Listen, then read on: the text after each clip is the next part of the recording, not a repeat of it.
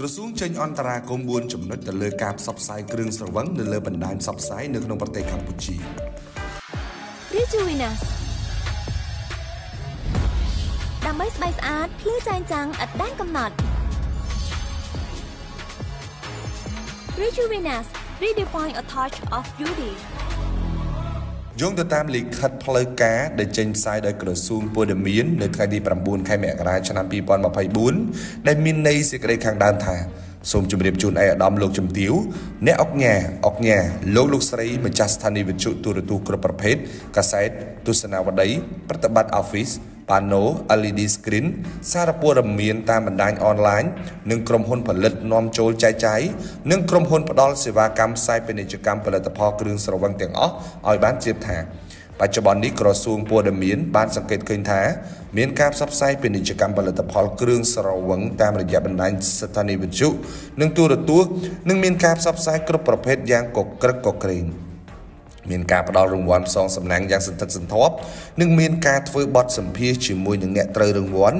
ដោយប្រើប្រាស់សកម្មភាពជំរុញលើកទឹកចិត្តនិងប្រើប្រាស់រូបភាពអូសទាញឲ្យប្រជាពលរដ្ឋជាពិសេសគឺស្រទាប់យុវវ័យឆ្លក់វង្វេងនឹងការសេពគ្រឿងស្រវឹងប្រកបដោយគ្រោះថ្នាក់ដើម្បីផ្សងយករង្វាន់ធ្វើឲ្យប៉ះពាល់ដល់អនាគតយុវជនកម្ពុជាដែលជាទំពាំងស្នងឫស្សី។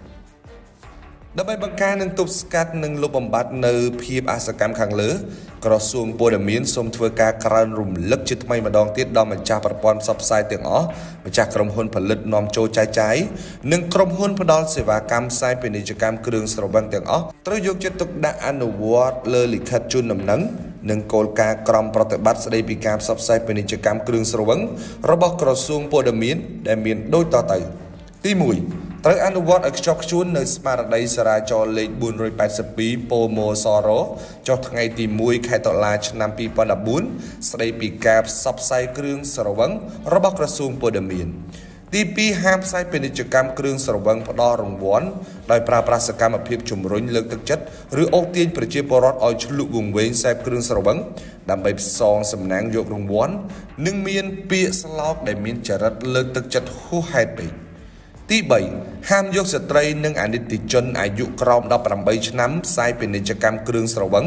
ដែលធ្វើឲ្យប៉ះពាល់ដល់សិទ្ធិនិងសេចក្តីថ្លៃថ្នូររបស់ស្ត្រីខ្មែរទី4ការផ្សព្វផ្សាយពាណិជ្ជកម្មគ្រឿងស្រវឹងតាមកញ្ចក់ទូរទស្សន៍គ្រប់ប្រភេទសារព័ត៌មានតាមបណ្ដាញសង្គមអនឡាញ Office Pano LED screen ផ្ទាំងផ្សាយពាណិជ្ជកម្មនានាត្រូវដាក់សារព្រមានពីសារគ្រឿងស្រវឹងសុំកំបើកបោឬពីសារដោយការទទួលខុសត្រូវ។ ចំពោះស្ពតពាណិជ្ជកម្មដែលមានលក្ខណៈដោយរៀបរាប់ខាងលើក្រសួងព័ត៌មានទុករយៈពេលសមស្របដើម្បីឲ្យរៀបចំការផ្លាស់ប្ដូរនិងកែសម្រួលស្ពតពាណិជ្ជកម្មគ្រឿងស្រវឹងសាជាថ្មីសម្រាប់ផ្សព្វផ្សាយដែលមិនប៉ះពាល់ដល់សិលធម៌សង្គមក្នុងករណីប្រព័ន្ធផ្សព្វផ្សាយឬក្រុមហ៊ុនផលិតនាំចូលចែកចាយឬក្រុមហ៊ុនផ្ដល់សេវាកម្មផ្សព្វផ្សាយពាណិជ្ជកម្មគ្រឿងស្រវឹងណាមួយមិនអនុវត្តតាមលិខិតជូនដំណឹងនេះ ក្រសួងពលរដ្ឋនឹងបញ្ឈប់ការផ្សព្វផ្សាយស្ពតពាណិជ្ជកម្មនោះចំពោះម្ចាស់ប្រព័ន្ធផ្សព្វផ្សាយណាដែលល្មើសក្រសួងពលរដ្ឋនឹងអនុវត្តតាមកិច្ចសន្យាដែលដង្កល់ទុកនៅក្រសួងពលរដ្ឋ